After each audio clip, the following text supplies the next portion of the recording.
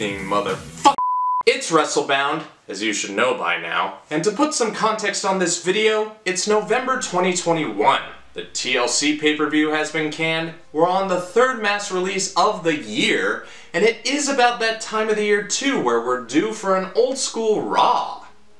Not that I have anything wrong with that, they can be fun nostalgia nights, but like half their marketing now is on old stars from past eras with not the heaviest emphasis on new talent. You looking forward to who's getting squashed by the old geezers? I sure am. I'll give them credit though. World Wrestling Entertainment has a rich history, full of legendary moments and superstars that are forever etched in fans' minuscule minds. Most moments have taken place at the grandest stage of them all, you just can't call it Granddaddy anymore because it dates the event. Many have wanted to attend, a lucky few have lived it, but many others want to relive it or even take part in it. Well, there's a game to satisfy those weird kinks you got.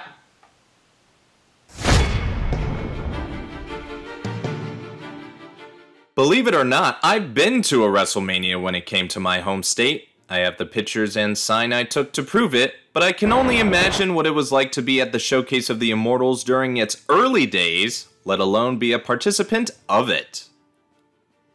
WWE Legends of WrestleMania in my mind came from pretty much out of nowhere as it was released between the traditional SmackDown vs. Raw games THQ and Yuke's would chum out every year. It was to coincide with the upcoming 25th anniversary of WrestleMania, which technically wasn't the 25th anniversary, the one I went to was, and they probably took this name as the obvious other one was already taken.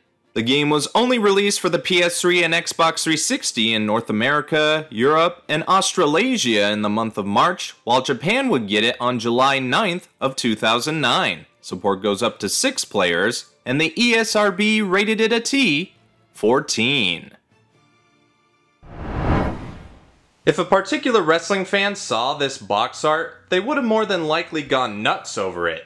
Up top, we have a Mount Rushmore of sorts for the WWE, with Stone Cold, Hulk Hogan, The Rock, and Andre taking priority. The Giant looks like he's about to tie it up with the game logo. It's a little weird they skipped over the new generation stars like Bret Hart and Shawn Michaels. They could have gone where Bobby Heenan and Jimmy Hart are, but they were an integral part to the time period, so it's only fitting for them to get their time in the sun.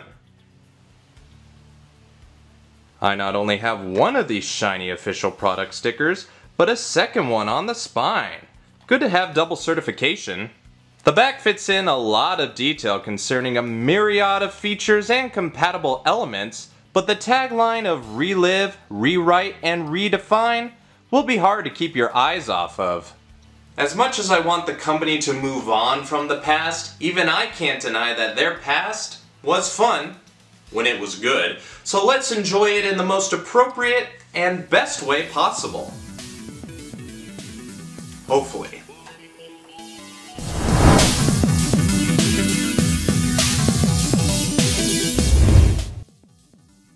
The game isn't wasting any time heading straight to the title screen, and neither shall I, so we'll head into exhibition. Obviously, the roster is going to be stacked with stars of WrestleMania's past, and there's quite a lot of recognizable faces and a few oddball inclusions. I'm talking about Andre the Giant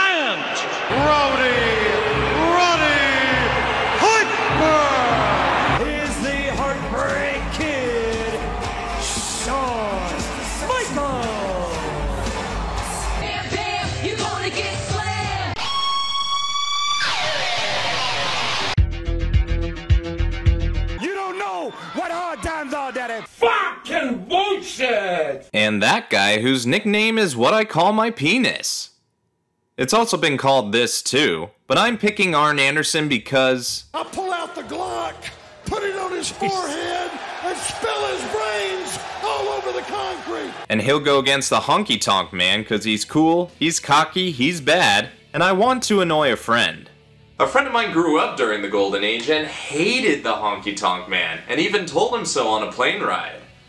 That has to be the best compliment you can give to a wrestling heel in their older age.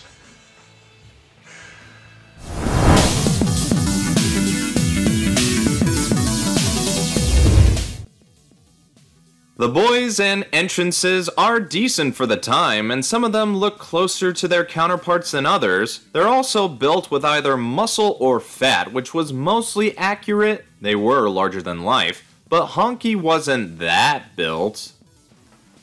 You think this game considered roids as a factor? It's good for the bodies, but not for the balls or the brains, where we get told how the controls work, which is nice to start, but I'm here for a reason. I know for a fact that a good percentage of you can't read, so allow me to be the eyes of the illiterate and the ignorant. Square is used to strike, X is for grappling, triangle is for blocking, and circle is for pinning or running if you double tap it. Double tapping, holding, or using the left stick with select buttons will yield different actions and results. It's a very simplified control scheme as those are the only buttons used at all times, and you can use the directional buttons as well as the left stick to move, which reminds me how some arcade games work, which I believe is what this game is going for. The presentation is slightly different compared to SmackDown vs. Raw. I mean, look at the camera angles. Instead of being farther away, it's close up as it would be in fighting games, and every grapple move is like a mini cutscene as if you were doing a brutal combo move. Speaking of combos, with every subsequent move you make, you'll build up this red meter. You're trying to build it up so you can hit your finishing move. You also have this retro meter that represents your health that can go down pretty quick if you continually pummel your opponent non-stop, which is what I as Double A did to pick up the win. Believe it, viewers, I don't lose every first outing. There's still a little more to explain though, so we'll have a quick rematch. When an opponent is groggy, you can implement a chain attack, which is a QTE, but THQ had to make a creative trademark. The QTEs come in a couple different forms, but usually involve hitting the right button when it comes up, or trying to hit the right button to either block an opponent's attack or hope to hit an effective move. It's different for a good reason, to try and make it stand out. Hell, it's even incorporated into your finishers as well, and the Enforcer won again. Now I know what you're thinking, oh, you have it on easy again. Well, I have some news for you. It was on normal the whole time. I know this doesn't prove anything, but if you don't believe me, well fuck you too, eh?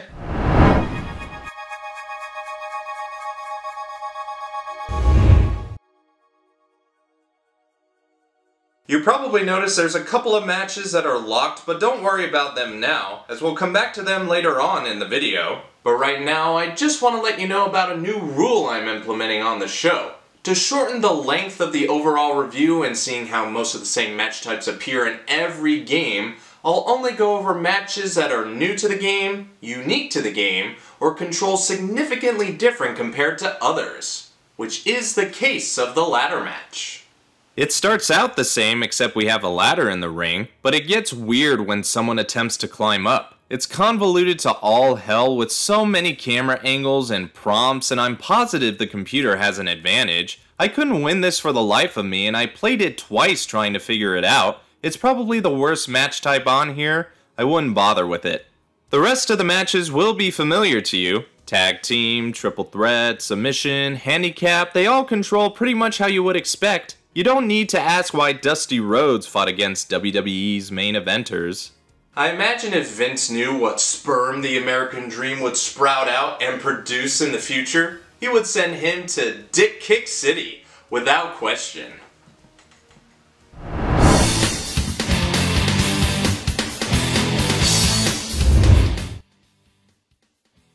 Now, another good reason I'm cutting the match selection portion down is because there's no telling what could be left to look at in a game, and with Legends of WrestleMania, it is plentiful. First things first, we have the options where you can configure a good number of settings, and there's also a cheat code section where you can implement a few codes that only unlock alternate attire that I imagine you can unlock elsewhere.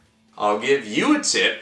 If you hit Alt on the keyboard and hit 7820, then boom, you'll get my alternate costume. Which brings us to the create modes. WWE games by this point offered a lot of customization and it's no different here. You can get a Cal, That's create a legend pretty close to yourself or what you envision yourself to be, though I will admit it's laggy when applying lettering or logos, but after that you can change its standard moveset and his entrance extensively. There's also a create a tag team option, but I don't have any partners, and I prefer to work alone as it is. We are not doing that gimmick. Get out. Now we come to the game modes, pretty much the reason why this game exists if the tagline is to be believed. You can relive infamous WrestleMania moments by remaking certain events of the match for points, rewrite other moments by doing the same except the outcome will be different. Sounds like someone had regrets over past bookings, or redefine other other moments, which may turn the original concept on its head. My favorite part is the packages, taking you back to a simpler time and a definitely more innocent time before we knew who among the roster were either assholes or monsters. Among all the other things that are wrong with the WWE, still celebrating past stars in light of their controversial past ought to tell you how reliant they are to that past. Now, there are two more things to look at while we're here, like the Hall of Fame, where you can look at stats and achievements you've gotten during play, or Legend Killer mode, and no, it isn't a mode where you kill legends as Randall Keith Orton.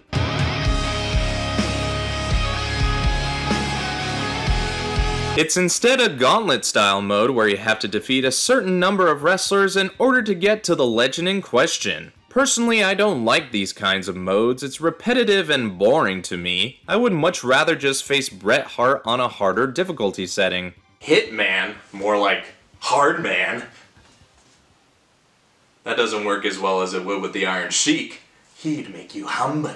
Online is a thing, was a thing, doubt anybody does or did that, and I would say that is everything, but this game has a very unique feature that's perhaps exclusive only to this game. You might have noticed this import SmackDown vs. Raw 2009 selection. Well, if you so happen to have save data from that game on your console, you can import most of the roster from SVR09 and increase the roster of this game twice fold. I say most because there are a few exceptions like original characters and stars that were released by the time of this game's release, but hey, it gives you the chance to do unique dream matches with the stars of then versus the stars of 2009 now.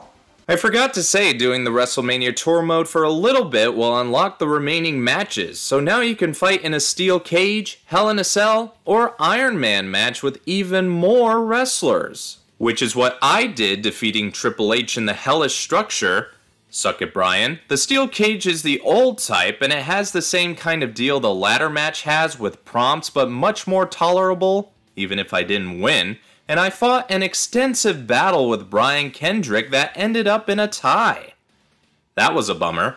We weren't fighting over the rights to his music, not in the slightest. I'd hope he'd give me his blessing as his theme tune was sick. I'm sure you would agree.